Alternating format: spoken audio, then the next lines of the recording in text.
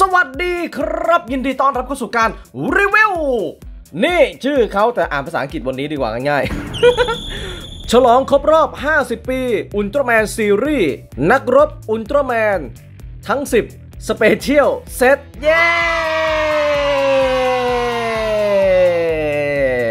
ก่อนจะไปชมการรีวิวก็อย่าลืมกดติดตามหรือ Subscribe ให้กับพี่ดูแมนก่อนนะครับ และบอกก่อนว่าอันนี้เป็นสินค้าเก่าหายากนะครับ ตอนนี้ลดราคาเลยที่ www.kissandkai.com ส่วนสภาพเดี๋ยวเราไปดูกัน ตอนแกะกล่อง เพราะมันเก่าเก็บนานมากอาจจะมีรอยเหลืองตามการเวลาหรือเปล่า เดี๋ยวไปดูพร้อมๆกันเลยครับ นี่นะฮะ หน้าแพ็กเกจ นี่อ่าจะเห็นตัวนะฮะนักรบอุลตร้าแมน แต่ว่าอันนี้เป็นเซตหนึ่งไงนะฮะเขาบอกมี 10 ตัวใช่ไหมแปลว่าอีกเซตหนึ่งมันจะต้องมีอีก 5 ตัวเพราะอันนี้มี 5 ตัวนะครับเซตพวกนี้เป็นอุลตร้าแมนที่พี่ดูแมนดูสมัยอยู่ม.ต้น ใช่ไหมใช่ดิที่กล้าฉายช่อง3มมาเออจำได้ดูก่อนออกไปเรียนนะครับนะมานี่ปั๊บปั๊บปั๊บปั๊บปั๊บปั๊บนะฮะฟ้านี่หน้าตาอุลตร้าแมนไดนาและทีก้านะครับ ด้านข้างนี้ก็เป็น Nexus Gaia และ Cosmos นะครับผม อืม นี่ฟ้าด้านหลังแล้วครับ อ่า เป็น status ของอุลตร้าแมนแต่ละคน อันนี้อุลตร้าแมนทิก้า เมื่อก่อนพี่แมนเรียกอุลตร้าแมนไทก้า มันเขียน T I G A อะเนี่ยเนี่ยเนี่ยภาษาอังกฤษเนี่ยมันเขียนเหมือนค่ายลิขสิทธิ์การ์ตูนค่ายหนึ่งในบ้านเรานะฮะ แล้วตอนนั้นค่ายนั้นก็เรียกไทก้าเราก็เลยเรียกอุลตร้าแมนไทก้าตาม เพิ่งมารู้ว่า อ๋อจริง ๆ มันต้องทิก้า อันนี้เป็นไทม์ไลน์การปรากฏตัวของอุลตร้าแมนตัวนี้ด้วยนี่นะฮะ ปีไหน ปรากฏตัวในอุลตร้าแมนภาคไหนภาคไหนภาคไหนอะไรนะฮะ นี่ ต่อมาอุลตร้าแมนคอสมอสครับ เอ๊ะถ้าตามลำดับปีมันต้องมานี้ก่อนเนาะอุลตร้าแมนไดนาก่อนนะฮะ ตัวนี้พี่แมนไม่ได้ดูทางทีวีแล้ว อันนี้อันนี้ดูก่อนไปโรงเรียนจำได้แม่นเลยนะ ชอบชอบอ่าตัวนี้นะฮะอุลตร้าแมนไดนาครับครับต่อมาเป็นอุลตร้าแมนไกยาซึ่งตัวเนี้ยมันจะมีลิขสิทธิ์ก่อนที่เด็กเขาจะเอามาทำใหม่ ตอนนั้นเขาใช้ชื่อว่าไกย่านะครับที่เขาใช้ชื่ออย่างนั้นน่ะอาจจะเป็นเพราะว่าการออกเสียงคำว่าไกอาภาษาญี่ปุ่นเนี่ยมันแบบไกย่า ประมาณนี้มันมันมันก็ฟังเป็นไก่ย่าได้นะถ้าเราจะฟังแต่ที่ถูกคือไก่อานะครับผมไก่อาอ่ามาต่อมาที่อุลตร้าแมนคอสมอสนะครับนี่และอุลตร้าแมนเน็กซัสนะฮะเท่จังเลยใส่หมวกด้วย นะครับนี่ครับอ๋อมาเรามาแกะดูกันเลยซิว่ามันจะเป็นอย่างไรของแรของหายากชิ้นนี้ ยังไม่เคยออกจากกล่องเลยนะครับอ่าพรำพัมพัมพัมพัมพัมพัมพัมพัมพัมพัมพัมพัมพัมพร โอ้อันนี้เป็นอะไรอะชื่อของอุลตร้าแมนเหรอ หรือว่าลายเซ็นพุ่มกับหรืออะไร ใครรู้บอกพี่แมนทีนะฮะ เป็นกล่องแขนหลัง เออ ตั้งไว้งี้ก็สวยแล้วนะ เอาออก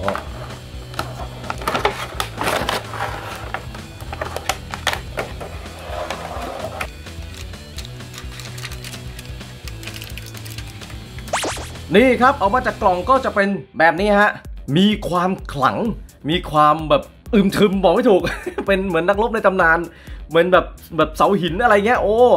ลงสีเป็นสีเทาหมดเลยทุกตัวนะฮะ แต่ว่ามันไม่ได้แค่เทาเฉดเดียวไง มันมีหลายเฉด อะเดี๋ยวไปดูกันเริ่มที่คุณพี่ทิก้าก่อนเลยนะครับ อ่า นี่ฮะพามนี่ มาดูดีเทลกันดีกว่าฟ้าฟ้าฟ้าฟ้าฟ้าฟ้าฟ้าฟ้าฟ้าถึงเขาจะสีเทาแต่ว่าดีเทลก็เก็บละเอียดนะครับ ดูสิครับนี่นะฮะหน้าองค์หน้าอกนู่นนี่นั่นนะฮะ ปั๊บปั๊บปั๊บปั๊บปั๊บปั๊บปั๊บปั๊บตรงนี้มีปีด้วยนะฮะ อ่า ด้านหลังครับโอ้หัวเป็นว้าวๆแบบนี้ยนะ อืม อ่า ตัวนี้ก็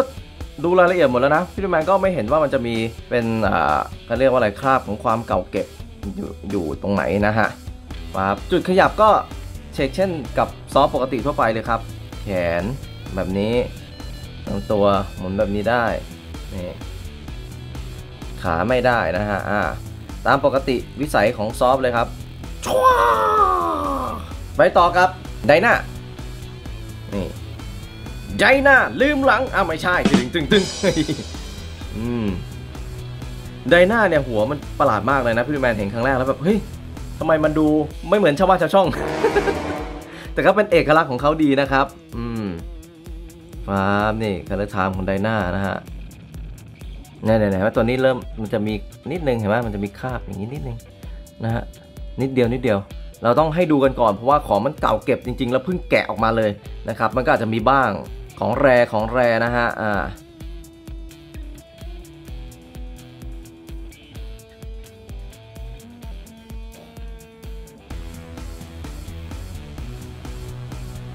นี่นะครับ มาไดนากับที่ไดนาแล้วอะไรแล้วไกอาป่ะอ่าไกอาเนี่ยเท่ชอบหัวเขามันดูแบบเฟี้ยวดีอะแล้วตรงนี้มีแบบลงสีแยกงี้ด้วยแบบ เออ ชอบชอบนะฮะหน้าอกก็ดูเท่ดี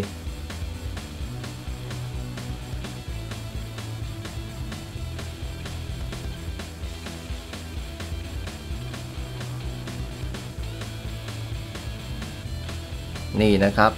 เออลืมบอกไปว่าตาเนี่ยเขายังคงความเป็นตะปุ่มตะปุ่มอย่างเงี้ยเลยถึงจะเป็นไม่มีสีก็เถอะ เจ๋งดีนะ ชอบ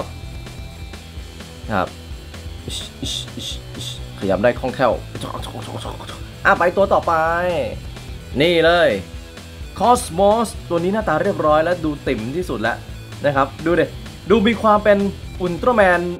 ยุคโชวะ ยุคแรกๆอะนะฮะคนอื่นเขาดูจะดูโฉบเฉี่ยวเนี่ยเอาเอาใกล้ๆไปเลยอย่างเนี่ยเนี่ยไกอาเนี่ยเห็นปะน่าจะดูโฉบเฉี่ยว อันนี้ดูหน้าแบบดูติ่มๆอะดูเหมือนพวกรุ่นพี่รุ่นแรกๆอะเห็นปะหัวก็แบบดูธรรมดาเมื่อเทียบกับคนอื่นแล้วเออนะฮะอืมโอเคนะครับ แต่นี่ color timer ของเขาดูดูเป็นแบบเอกลักษณ์มากนะฮะแล้วก็เป็นอุลตร้าแมนที่เริ่มต้นร่างพื้นฐานเป็นสีน้ำเงิน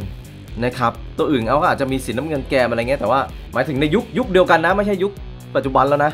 ในยุคเดียวกันเนี่ยของเขาน่าจะเป็นตัวแรกเลยมั้งที่มีเป็นสีน้ำเงินเนี่ยหมายถึงในร่างพื้นฐานนะไม่ใช่ร่างที่ทำการแปลงนะครับฟ้าฟ้าฟ้าฟ้า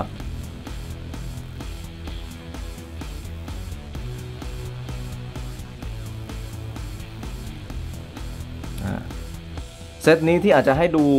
ให้ส่องกันนานหน่อยเพราะว่าอยากจะให้เห็นว่าเออมัน ผื่อบางตัวมันจะอาจจะมีคราบหรือมีอะไรที่แบบเกิดจากการเก็บไว้นานอะไรเงี้ยแต่เท่าที่เห็นก็เหมือนมีจึ้งหนึ่งแค่ตรงนั้นเองนะนะฮะนอกนั้นก็ยังไม่มีอะไรนะฮะอะจบไปกับคอสมอสหน้าตาติดมากลูกชอบ ต่อมาฮะ นี่พี่ดูแมนชอบตัวนี้ที่สุดแล้วในบรรดา 5 ตัวนี้นะฮะ